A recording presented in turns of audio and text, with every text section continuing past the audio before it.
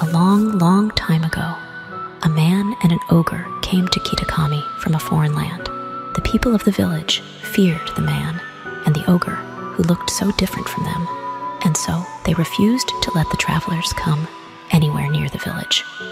The man and the ogre were saddened that the villagers did not welcome them, but they were happy just to have each other. They settled quietly in a cave on the mountain. There was only one villager who pitied the two travelers, the village mask maker. He made several masks for the man and the ogre. The masks were brilliant works, adorned with gems the man brought from somewhere far away.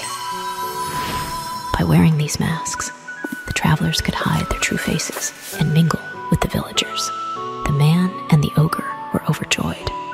They thanked the mask maker for his kindness.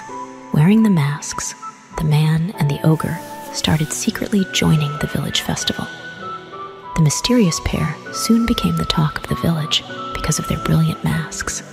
In fact, rumors about them quickly spread far and wide, even to distant lands. But rumors of exquisite, shining masks attract more than just innocent curiosity.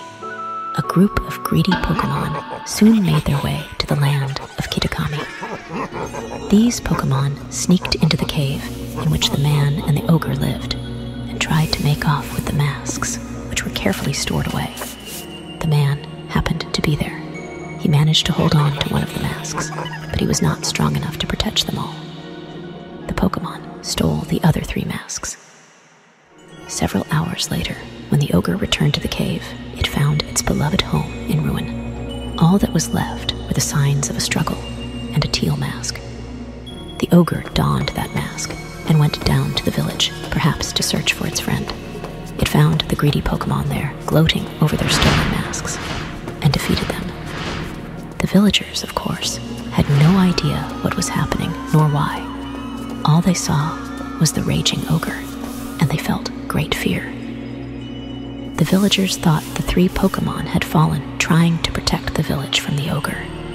To honor their sacrifice, the villagers named them the Loyal Three and interred them with care. Wounded and weak, the ogre returned to its cave alone and with great sadness